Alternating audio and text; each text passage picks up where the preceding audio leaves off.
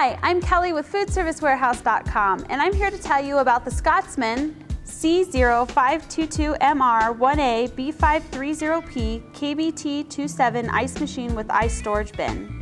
This Scotsman combination includes a remote ice machine with a daily yield of 517 pounds of full cube ice and a 536 pound ice storage bin. The ice machine is 22 inches wide and finished in stainless steel. It requires a remote cooled condenser, which you can buy separately on our website.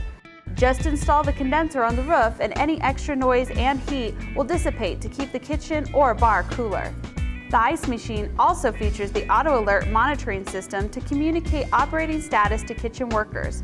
The ice storage bin is 30 inches wide and finished in durable plastic. The baffle is removable for easier detail cleaning. This remote ice machine and ice storage bin combination from Scotsman makes a great addition to a restaurant or a bar. For more information, please visit us online at www.foodservicewarehouse.com or call the number provided.